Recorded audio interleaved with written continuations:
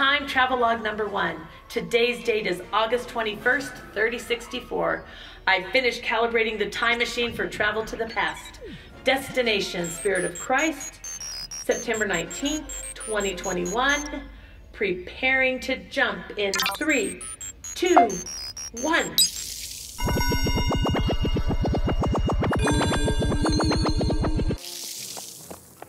This can't be right.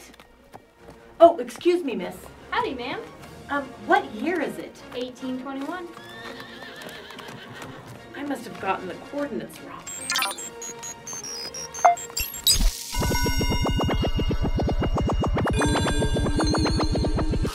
Whew, that was so weird. Time travel log number two.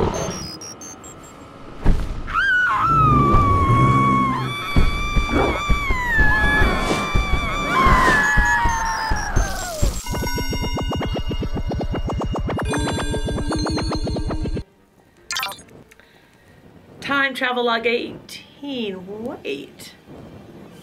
This isn't right, and that is definitely not right.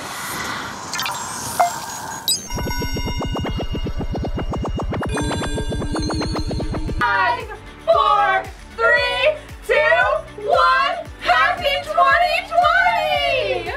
Best year ever. Let's get selfie. What's the date? January 1st, 2020. Yeah, best year ever,